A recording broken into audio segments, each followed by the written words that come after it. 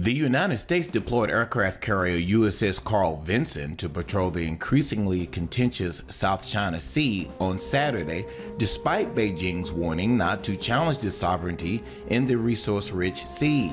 In a statement, the Navy described the launch as the beginning of a, quote, routine operations in the South China Sea. China claims most of the sea is its own, despite overlapping territorial claims from the Philippines, Vietnam, Malaysia, Taiwan, in Brunei. On Wednesday, China's foreign ministry spokesman Geng Shuang denounced advanced news of the deployment at a news conference. He added, China has indisputable sovereignty over the South China Sea islands and their adjacent waters. He said China respects and upholds the freedom of navigation and overflight in the South China Sea, which countries enjoy under international law but firmly opposes any country's attempt to undermine China's sovereignty and security in the name of the freedom of navigation in overflight. He also said that China urged the U.S. to refrain from challenging China's sovereignty and security in the sea. About 30% of global maritime trade passes through the South China Sea each year, worth $5.3 trillion,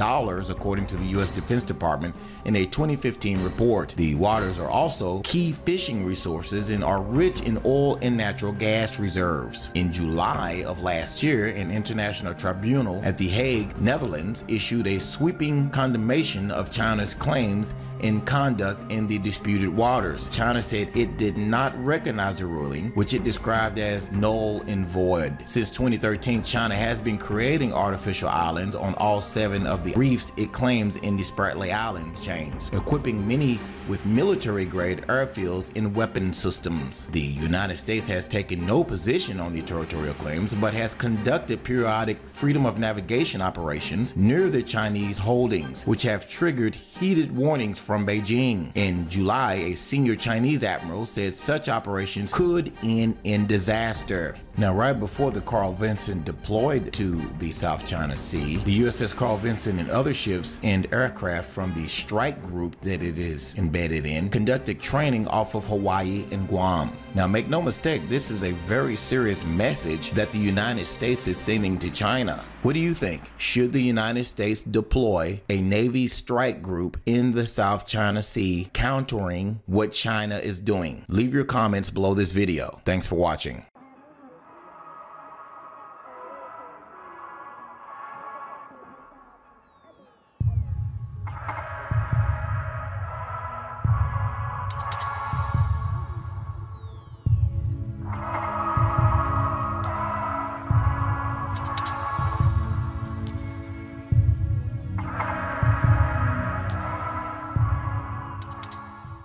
International law but firmly opposes any country's attempt to undermine China's sovereignty and security in the name of the freedom of navigation in overflight. He also said that China urged the U.S. to refrain from challenging China's sovereignty and security in the sea. About 30% of global maritime trade passes through the South China Sea each year, worth $5.3 trillion, according to the U.S. Defense Department in a 2015 report. The waters are also key fishing resources and are rich in oil the South China Sea. China claims most of the sea is its own despite overlapping territorial claims from the Philippines, Vietnam, Malaysia, Taiwan, and Brunei. On Wednesday, China's foreign ministry spokesman Geng Shuang denounced advanced news of the deployment at a news conference. He added, China has indisputable sovereignty over the South China Sea islands and their adjacent waters. He said China respects and upholds the freedom of navigation and overflight in the South China Sea,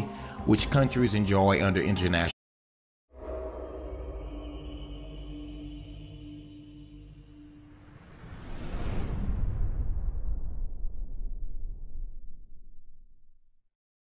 The United States deployed aircraft carrier USS Carl Vinson to patrol the increasingly contentious South China Sea on Saturday, despite Beijing's warning not to challenge the sovereignty in the resource-rich sea.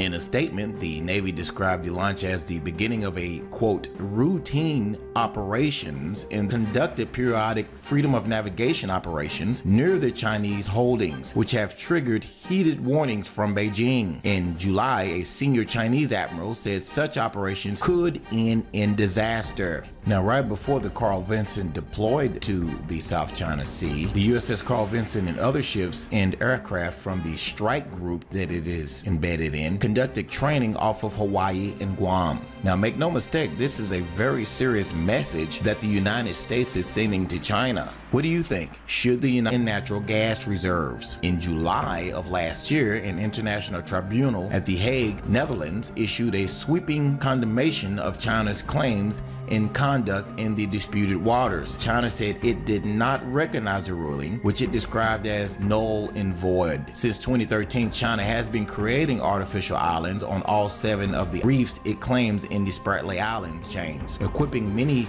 with military-grade airfields and weapon systems. The United States has taken no position on the territorial claims, but has